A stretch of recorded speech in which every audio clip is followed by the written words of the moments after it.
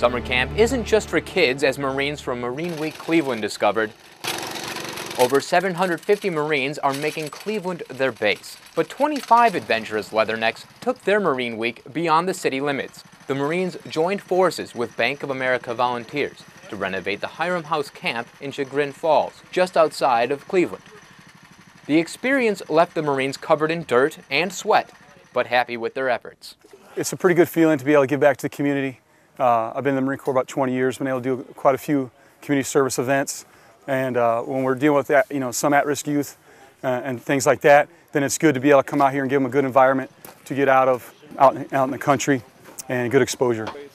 Muscling their way through the hillside, Marines installed new fencing to improve safety, replaced flooring in the camp's housing, and tore down an old obstacle course that was in disrepair. Put it back in, put it back in. It also came with the personal thanks of the camp's leadership. It's, it's great. We, we are honored to have such uh, fine folks here with us today. So have a great day. Uh, we can oh, we be will. any help, ask Russell. Once the work was done, it was time to play. Some Marines joined the kids in their daily activities, donning safety harnesses and braving the camp's new obstacle course. Without these volunteers, many of the improvements may not have been completed until after summer.